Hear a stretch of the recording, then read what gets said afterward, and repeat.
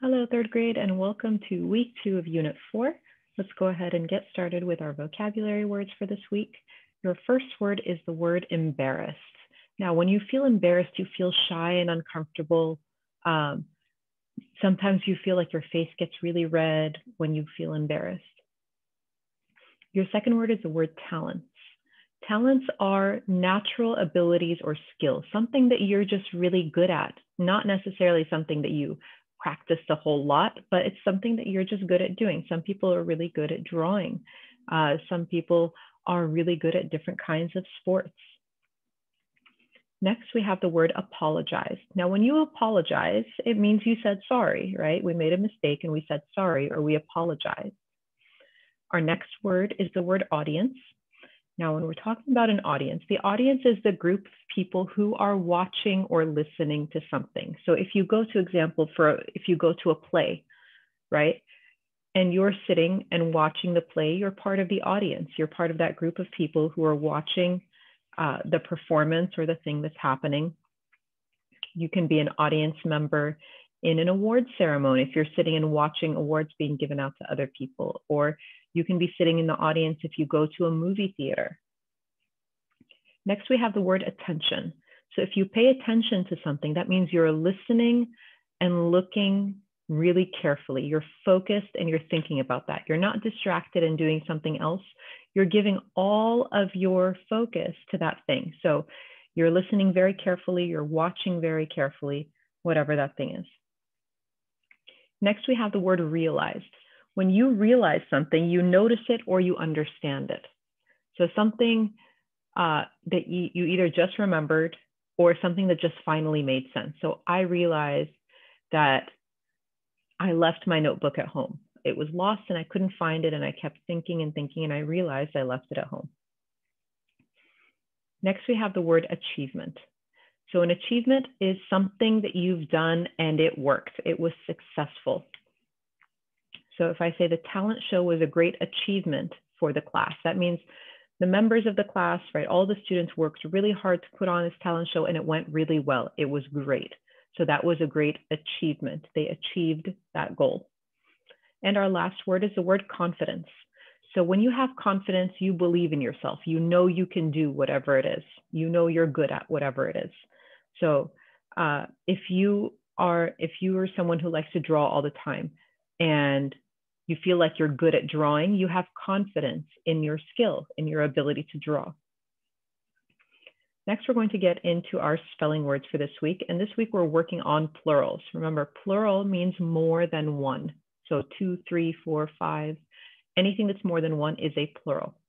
So our words this week are the word years, twins, trays, states, ashes, foxes, inches, flies, cities, ponies, bunches, alleys, lunches, cherries, daisies, spoon, clues, shook, heroes, and libraries. Now, if you notice these words, we make them plural by adding an S or an ES to the end of it. And we have different rules that we need to follow so that we know which one we need to add for the word to be spelled correctly. Now, this is where we're going to talk again about our plural nouns. So in order for us to understand how to spell these words correctly, we have to remind ourselves what the rules were for them. So we have an SE or ES rule. So how do you know when you add an S and when you add an ES? So the ES rule says you only add an ES if your word ends with these letters S, SH, CH, X, or Z. So class becomes classes, wish becomes wishes, watch becomes watches, box becomes boxes, buzz becomes buzzes. And you can hear yourself. You're not just saying, you're saying is at the end of it. So classes, wishes. So that's something to pay attention to when you're reading these words. You can hear the ES combination. So if that's the rule for ES, how do we know when we add just a regular S? So if your word ends with any of the other letters that are not S, S, H, C, H, X, or Z, and it does not end with a vowel plus Y, then, or sorry, it does end with a vowel plus Y or any other letter other than those five combinations that we talked about, then you just add an S onto the end of it. And you can hear the difference. So you say cats, toys, shoes, books, schools, boys, girls. You're just saying at the end of it, just that S sound, not is like you did with the ES sound. Now, I know you're going to look at these words and say, but Miss Anna, it says shoes right there, and that has an ES at the end of it. It doesn't. It only has an S at the end of it because if I take that out, the word shoe is spelled S H O E. That E is already there. So all I'm doing is adding an S to the end of it. Now, there are some words that we saw, even with our spelling words, where we're changing a Y to an I. So it's ending with letters that are IES. So what is the IES rule? How do I know when I do that? If my word ends with a consonant plus a Y, that means anything that's not a vowel and the letter Y right after it, then I change the Y to an I and I add ES. So enemy becomes enemies, fly becomes flies, library becomes libraries, bunny becomes bunnies. So you see this, we have a consonant and a Y. So that consonant plus Y combination tells me switch that Y to an I and then add ES to the end of it. Next, we're going to talk about contractions using the word not. Now, a contraction is not two separate words, or sorry, it's not um, it's not a word that has a prefix or a suffix on the end of it. It's not something with an inflectional ending like ed or ing on the end of it. A contraction is when we're taking two words and we're combining them into one word to make it shorter. And the way that we do this is we take out some of the letters from the words to make them shorter. And we use an apostrophe to take the place of those letters. Now remember, an apostrophe looks like a comma but it's higher up. It's not sitting on the line, it's up near the top of those letters. So a contraction combines two words into one smaller word, and it leaves out one or more of the letters to make it shorter. Generally, what happens almost all the time is that the letters that are taken out are taken out of the second word. The first word almost always stays exactly the same. So the, the contractions we're going to focus on today are contractions with the word not. So a word plus not. So when we're adding not at the end of a word, we're going to replace that letter O with an apostrophe. So instead of it spe being spelled N-O-T, it's going to be spelled N apostrophe T. So do not becomes don't. Here's the D-O that stayed exactly the same as it did here. And N apostrophe T is how we shorten the word not. So did not, or sorry, do not becomes don't. Did not becomes didn't. Again, pay attention. Did over here and did over here is still spelled exactly the same. It hasn't changed. Would not becomes wouldn't. We still have would spelled exactly the same and then N apostrophe T. Should not becomes shouldn't. We have the word should spelled exactly the same N apostrophe T. Now I do have two exceptions for you for this one and I put them at the bottom. Cannot becomes can't. So we don't say C-A-N-N apostrophe T. Can ends with, ends with the word letter N and not begins with the letter N. So we drop off one of those N's. So cannot becomes can't, C-A-N apostrophe T. And the next exception is will not. Will not, when we put it together, we say won't. We don't say willn't. Um, and there's a long history uh, linguistically about when this happened. I believe it was around the 16th century, where linguists decided that they were going to replace will with the word would and shortened it instead of as would not, and they changed it into won't. You don't need to worry about the history. Just remember, will not becomes won't. This one is one of the biggest exceptions. The rest of them follow the rule very carefully. So you're, you'll be fine with the rest of them. These are the only two real exceptions and won't is kind of the bigger exception. It's easier to remember. Now, do not confuse contractions with possessive pronouns. Remember, contractions use apostrophes, right, in place of the missing letters, but possessives also use an apostrophe to show ownership. So if I say I'm, your, and can't, these are contractions. I'm is I am, like I'm going to the basketball game. Your, Y-O-U apostrophe R-E, is a contraction for you are. So that's, so an example sentence for that is, mom said, you are going to help me. You are going to help me. And next we have can't. Can't cannot. They can't go to the park today. So these are contractions. Possessive pronouns have an apostrophe, but they show ownership. This is Sarah's pencil. So Sarah apostrophe S tells us that that pencil belongs to Sarah. When is Mardia, or where is Mardia's crayon? We're talking about the crayon that belongs to Mardia because we see that apostrophe S. Please find Ammar's backpack.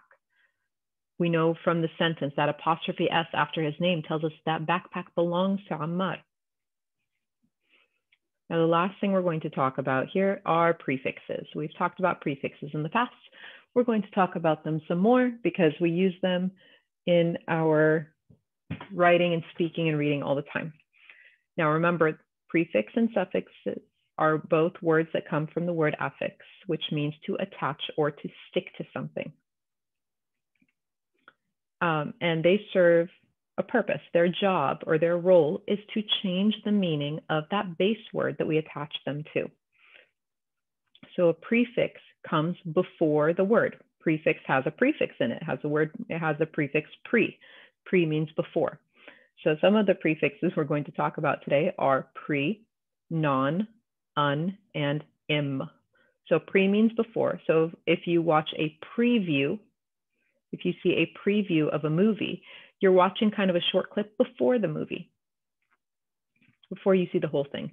If mom has to preheat the oven before she bakes cookies, that means she has to heat it up first before she puts the cookies inside.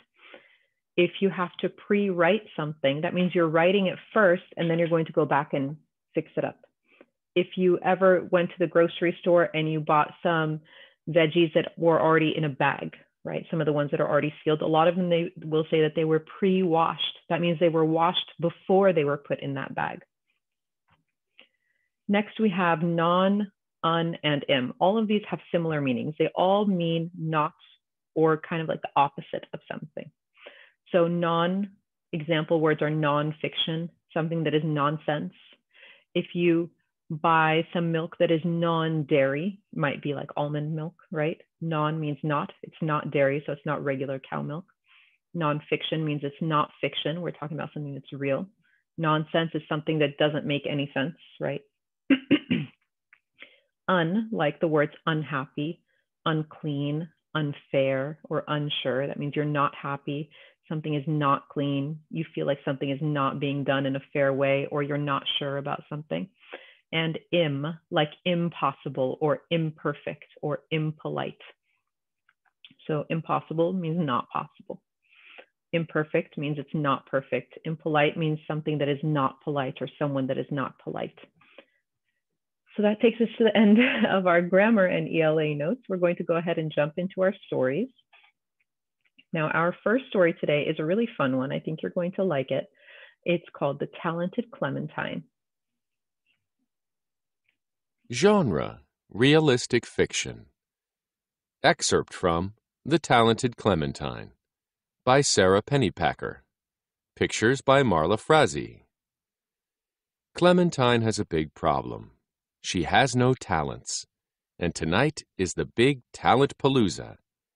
Every third and fourth grader will be dancing, singing, or turning cartwheels, except Clementine. Even Margaret, her best friend, has an act. Now Clementine has to tell Mrs. Rice, the principal, and Margaret's teacher why she won't be performing.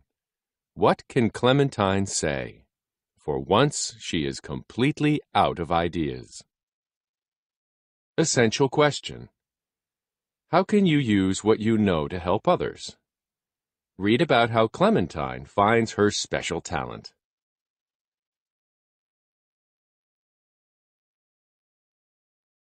Stop and check. Ask and answer questions. Why does Clementine whisper in the teacher's ear?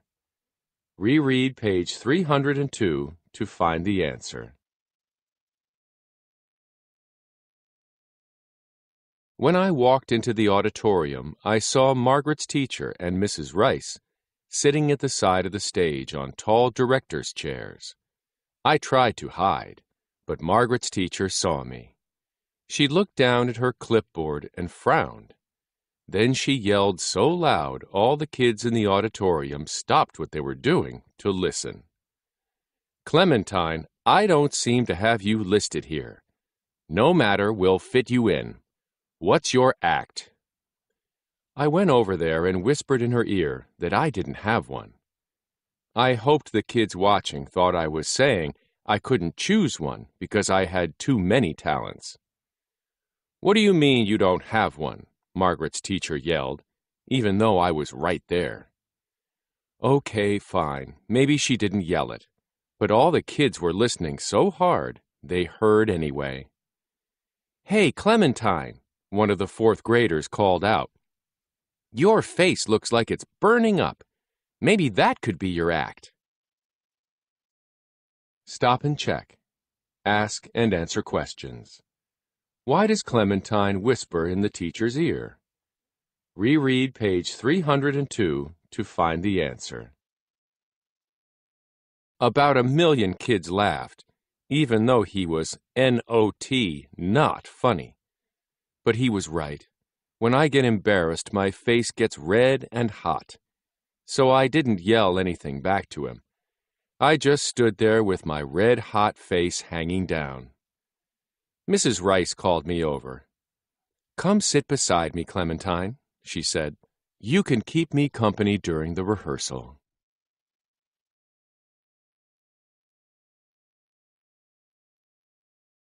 So I had to sit in between Mrs. Rice and Margaret's teacher, right there at the side of the stage where all the kids could see me and know that I had no talents. The first act was called A Dozen Doozy Cartwheelers. Twelve kids lined up, six on each side of the stage. Wait! I yelled. I ran into the gym and dragged a tumbling mat back into the auditorium. I placed it on the floor in front of the stage. Then I got some of the dozen doozies to help me. Pretty soon we had all the mats piled up. Margaret's teacher was glaring at me. She tapped her watch. They're going over, I explained. No matter how they start off aiming, some of them are going over. And they did. At least half a dozen of the doozies went flying off the stage and right onto the mats. As soon as we got those kids back up and checked them for broken bones, I saw something else with my amazing corner eyes.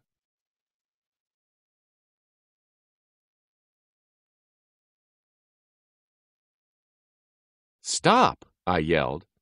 Then I ran over and grabbed a handful of crackers from one of the third graders just before they went into his mouth. You're up next, I reminded him, and you're whistling Yankee Doodle Dandy. No crackers. When I got back, Margaret's teacher gave me a look that said she was going to remember all this nonsense when I got to her grade. But Mrs. Rice gave me a thumbs up. Thank you, Clementine, she said. Those crackers could have been a problem. And you will not believe what happened next. Margaret's teacher apologized. I'm sorry, she said. I'm a little antsy tonight. I wanted to stick around to hear about why she was antsy. But just then I noticed that the super duper hula hoopers had been hula hooping for a while. I went over and asked them how long they were planning to go on. The girl on the right said, I once went for five hours and 13 minutes. The girl on the left made a face that said, That's nothing. Well, you need to have an ending tonight, I said. There are a lot of acts after yours.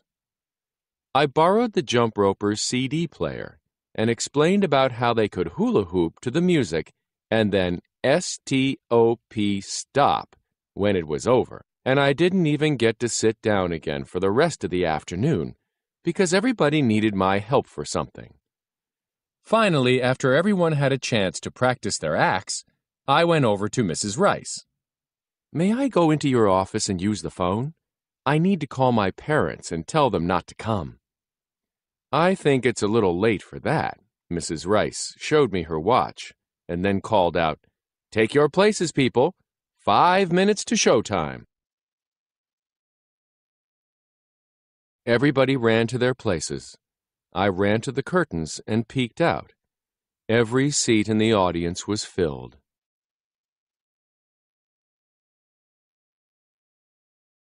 Margaret's teacher clapped her hands for attention. Before we get started, she said, I just want to thank you all for being part of the show.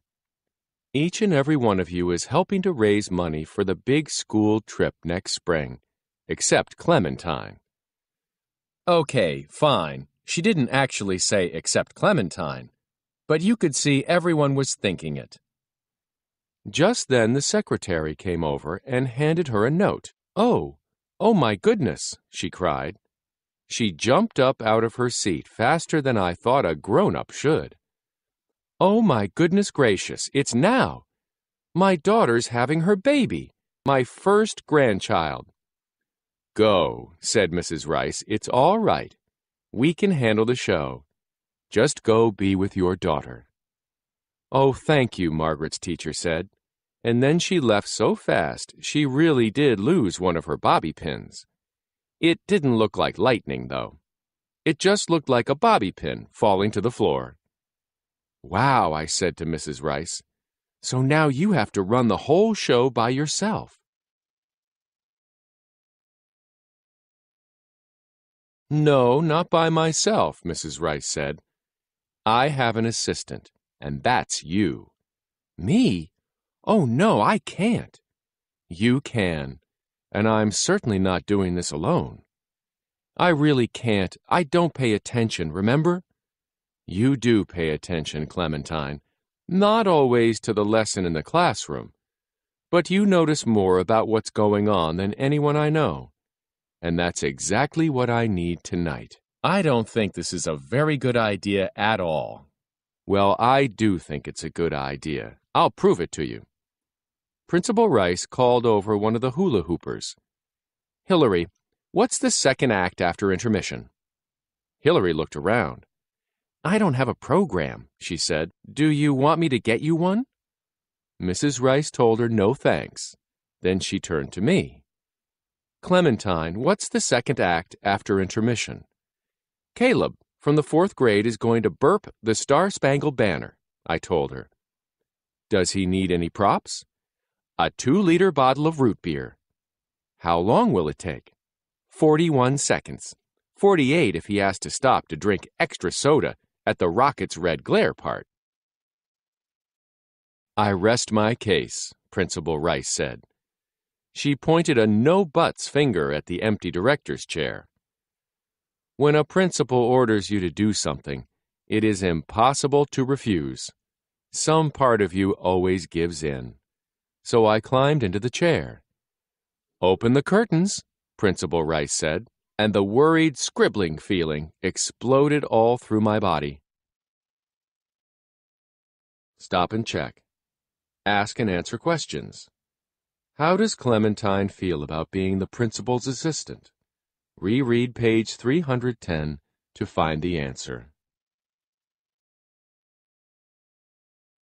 Well, you would think those kids had never had a rehearsal. First thing, all dozen doozies cartwheeled off the edge of the stage. Well, except for one girl, who forgot to move at all. Maria and Morris Boris Norris, from my class, went on next, and they cartwheeled right off the stage, too. Nobody had to go to the emergency room, though, and the audience thought the whole thing was supposed to happen that way, so it was okay.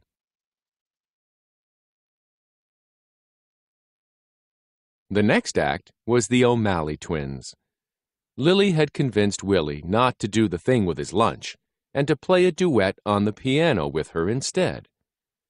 But when Lily got up to the mic to announce the act, she got so nervous she threw up. I looked at Willie, sitting on the piano bench. Willie does everything Lily does, and sure enough, he was getting ready. Not on the piano, I yelled, just in time. Then I ran over and closed the curtains quick, so the whole audience wouldn't get started, too. When the janitor came running out to clean everything up, I had a good idea. Send Sidney out now, in front of the curtains, I told Mrs. Rice. Why? she asked. There's no microphone out there. That's okay. Sidney's really loud. And she's going to recite a poem, so there's no cartwheeling, just standing still. Besides, she's got really skinny feet, so she can fit out there if she stands sideways. So Sidney went on stage and stood sideways and yelled her poem. By the time she was done, the stage was all mopped clean. Next came the hula hoopers, and they completely forgot what I'd told them about stopping. The music ended, but they just kept on going. Finally, I had to close the curtains to pull them off the stage so the jump ropers could go on.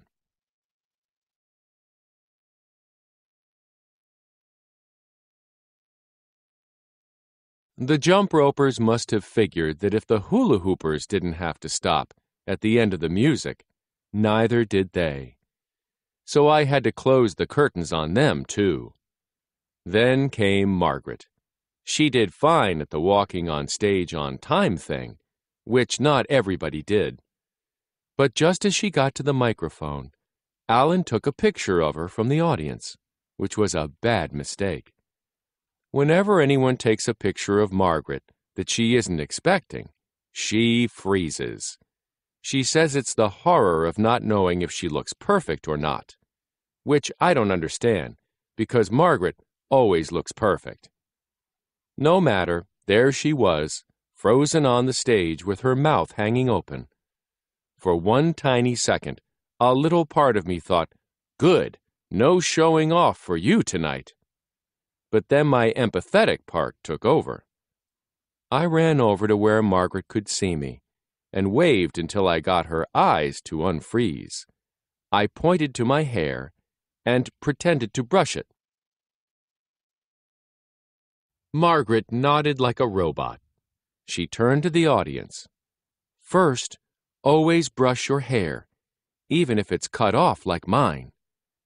She looked back at me. I pretended to do up some buttons. Then I pointed to my right. Always make sure you're buttoned up right, Margaret told the audience.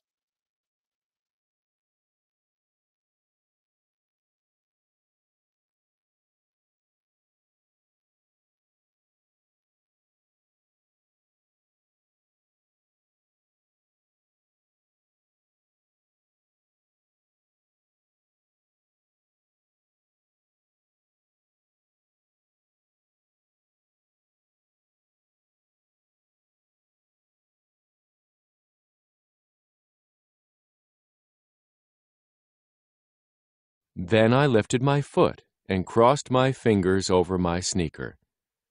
Never wear green sneakers, Margaret said. Green sneakers are the worst. Then she shook herself, as if she'd been asleep. She went up closer to the mic. Wait a minute, she said. I was just kidding about that one. You can wear any color sneakers you want, and green is the most fashionable of all. She zoomed me a smile so huge, all her teeth bracelets sparkled like diamonds in the spotlight. I zoomed her one back, except with no teeth bracelets, because I don't have them yet. After that, Margaret was okay. I went back and climbed up onto the director's chair. And Principal Rice gave me a huge smile, too. She leaned over and said, I have the answer for you now, Clementine, about why you can't have a substitute. It's because there is no substitute for you. You are one of a kind. And that's when I realized I didn't have the worried feeling anymore. Instead, I had the proud feeling, like the sun was rising inside my chest. The proud sun-rising feeling stayed with me all through the rest of the show. And no matter what went wrong, which was plenty, Mrs. Rice and I just fixed it. Stop and check. Visualize. Use the descriptions to visualize Clementine's actions at the end of the story. How does she feel?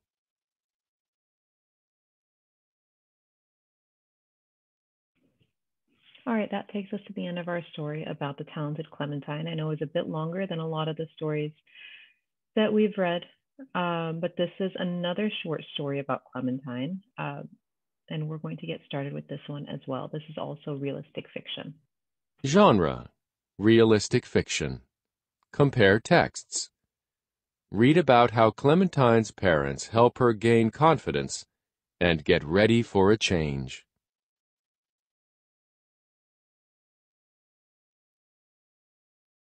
From Clementine and the Family Meeting by Sara Pennypacker.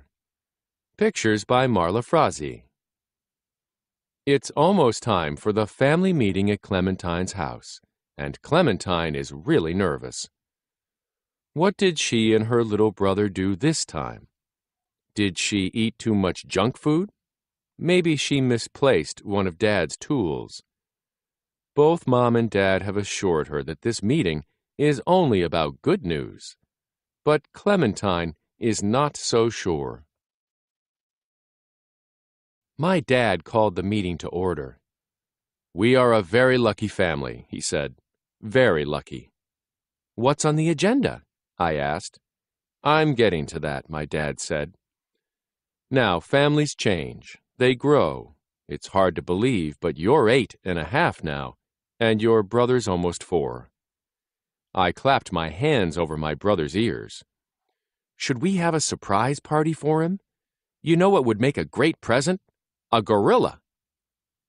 His birthday's not for a few months, my mom said. I vote we table that discussion for another time. Well, so what's the good thing we have to talk about tonight? I asked.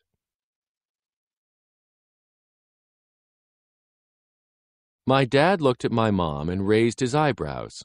My mom looked back at him and smiled. She waved her palm to him like a game show host, as if to say, Show us these great prizes, Bill. My dad looked at my mom again, and this time he looked like he was going to cry. Not in a sad way, but in an I can't believe how lucky I am that you're here way, which was nuts because my mom is always here. Families grow, he said again, and tonight, he stopped and smiled at my mom again. Tonight, your mother and I want to talk to you about an addition to our family. Our family is about to grow again. And then finally, I figured out what he was saying. I slid Peapod off my lap and jumped up to give my dad and mom a hug. Yes, thank you. Yes, you won't be sorry. I promise I'll take good care of it. You'll barely even notice it's here. Thank you. Cauliflower was sitting on the floor looking between me and our parents, completely clueless. I leaned over and squeezed him hard. We're getting a gorilla after all. My mom fell back against her chair, laughing. Oh, Clementine, she said, it's definitely not a gorilla. I was a little tiny bit relieved. The truth is, since I got my kitten, I'm not sure I really want a gorilla anymore. That would be a really big litter box. I studied my parents. What is it then? A pony? We're getting a pony? My dad pulled me over to him and held my hands. We're talking about a new baby, a brother or a sister for you two. What do you think about that? What I thought about that was N-O, no thanks. I yelled it. No thanks, Parsnip echoed. Then he looked up at me. No thanks what? No thanks to more people. Our family is four. There are four sides to a puzzle, so we can all work on it at once. Hot dogs come in packages of eight, so we can each have two. At the playground, four is an even number for the seesaws. Four can all be together in the car. Four can be two and two sometimes, and nobody is lonely. Two kids and two grown-ups. Two boys and two girls. There are four sides to the kitchen table, so we each get one. Four is a perfect number for a family. While I'd been explaining all this, my brother had snuck over to his favorite cupboard and thrown all the pots and pans out, like a personal sized tornado. He was sitting inside now, crashing lids together. I pointed to the mess in the kitchen. Look at us. Lima Bean puts toy trucks in the ziti, and we used a drill gun to stir the muffins this morning because we couldn't find the mixer. And my rat is missing, which isn't my fault, and so is my hat. And maybe that is my fault. But how is a baby going to help with anything? That's what I want to know. It's all moving too fast, and we're not ready. Oh, honey, my mom said, life is always moving too fast, and we're never ready. That's how life is. But somehow, that's just perfect. She dragged Zucchini out of the cupboard and hauled him off to get his pajamas on. Your mother, my dad said, is exactly right. Things are always changing. That's life. And this? He spread his hands to the tornadoed kitchen. Us? Toy truck ziti, missing hats, drill gun mixers. Well, this is how we roll, Clementine. This is how we roll. Make connections. How do Clementine's parents help her understand the changes in her family? How are the plot and setting and theme in the two stories about Clementine alike? How are they different?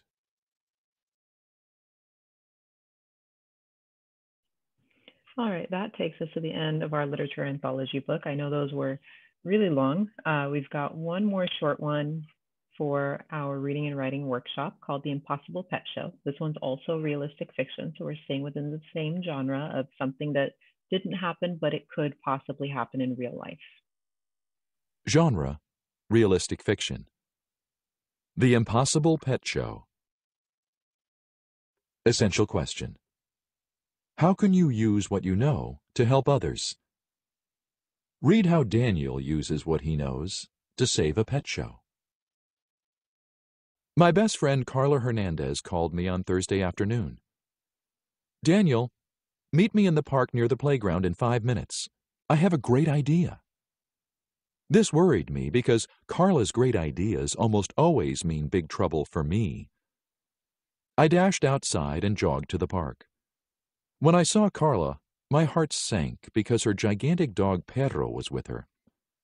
I liked everything about Carla except Perro. I've never had a pet, so I feel uncomfortable and nervous around animals. I'm embarrassed to say that I'm afraid of Carla's dog. Carla smiled. Isn't this the perfect location for a pet show? she asked. All the kids in the neighborhood can show off their pets' talents and demonstrate the things they do well. There are plenty of comfortable benches for our parents and friends to sit on. And since you don't have a pet to enter into the show, you will be the announcer.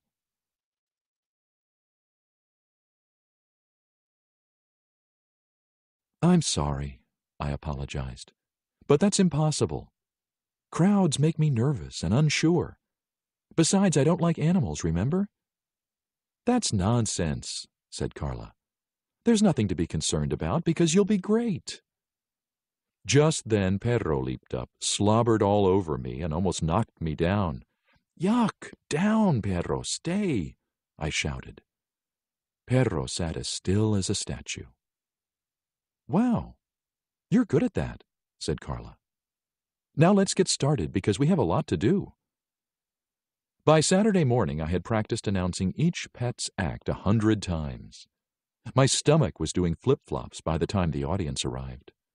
The size of the crowd made me feel even more anxious. When the show began, I gulped and announced the first pet.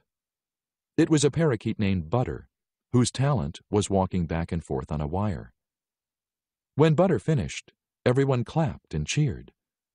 So far, everything was perfect, and I was beginning to feel calmer and more relaxed.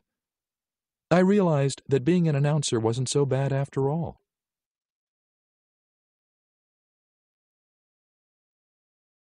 Then it was Carla and Perro's turn. Sit, Perro, she said. But Perro didn't sit. Perro was not paying attention to Carla. He was too interested in watching Jack's bunnies jump in and out of their boxes. Suddenly, Perro leaped at the bunnies who hopped toward Mandy and knocked over her hamster's cage. Pudgy, the hamster, escaped and began running around in circles while Kyle's dog, Jake, howled. This was a disaster, and I had to do something. Sit, I shouted at Perro.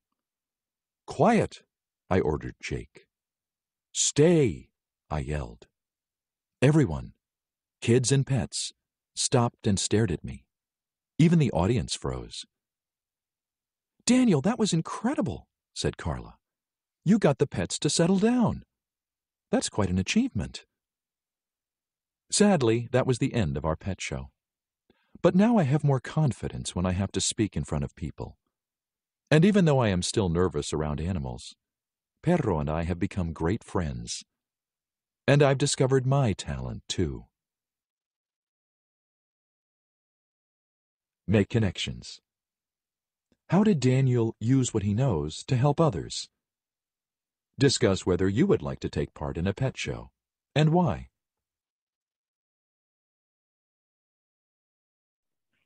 All right, that takes us to the end of our stories for this week. I know we had several long stories, but I hope you guys did enjoy them. We're going to talk about our comprehension strategies and skills right now, and then uh, about our genre and our vocab strategies. So our comprehension strategy for this week is to ask and answer questions, and that's something we do when we come across information that we don't understand. We ask questions and we look for the answers to those questions to help us get a better understanding of what the author is sharing with us. Ask and answer questions. Stop and ask yourself questions about The Impossible Pet Show as you read. Then look for story details to answer your questions. Find text evidence. Reread page 277.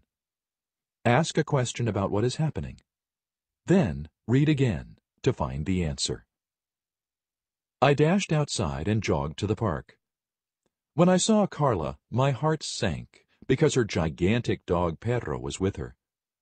I liked everything about Carla except Perro.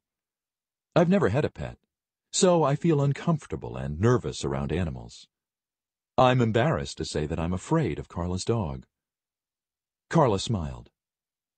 Isn't this the perfect location for a pet show? she asked. All the kids in the neighborhood can show off their pets' talents and demonstrate the things they do well. There are plenty of comfortable benches for our parents and friends to sit on.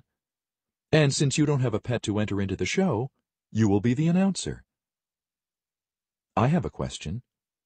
Why are Carla's ideas trouble for Daniel? Daniel is uncomfortable around pets. Carla asks him to help at the pet show. Carla's ideas are trouble because she is asking Daniel to do something he is not comfortable doing. All right, next let's talk about our comprehension skill, which is point of view. So when we're talking about the point of view of somebody in a story, we're looking at things from their perspective. So how are they seeing it? How are they understanding it? What are their thoughts about it? Point of view. Point of view is what a narrator thinks about other characters or events in a story. Look for details that show what the narrator thinks. Use them to figure out the point of view. Find text evidence. I read on page 277 that animals make Daniel nervous and uncomfortable. This will help me figure out what Daniel's point of view is about being an announcer for the pet show.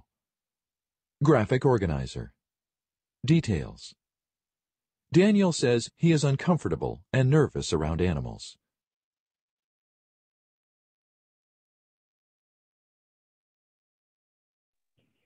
Next up, we have our genre for this week, and we've said we were talking about realistic fiction. Now, remember, realistic fiction is still fiction, it's still a made up story, um, and it has all the elements of a made up story, or most of the elements of a made up story, where you have dialogue where the characters talk to each other.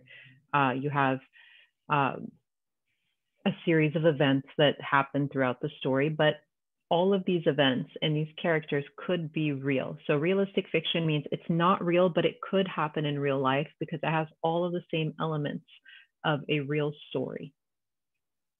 Realistic fiction. The Impossible Pet Show is realistic fiction. Realistic fiction is a made-up story that could really happen. Has dialogue and illustrations may be part of a longer book with chapters, or part of a series about the same characters. Find text evidence.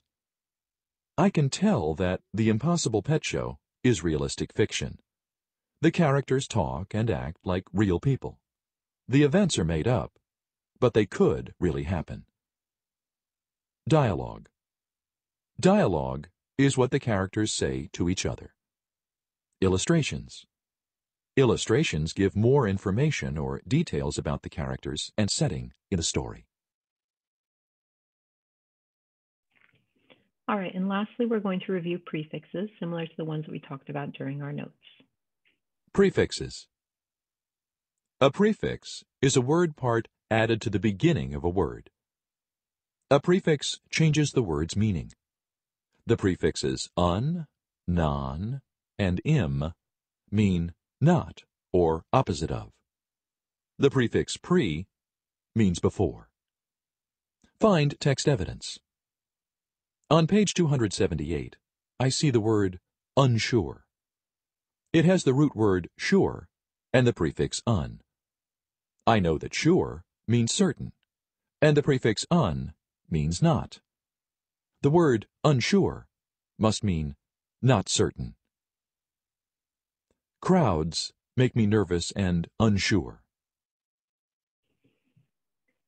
All right, that takes us to the end of our notes for this week, third grade. If you guys have any questions, definitely let me know. Join our Zoom sessions. Otherwise, I hope you have an amazing week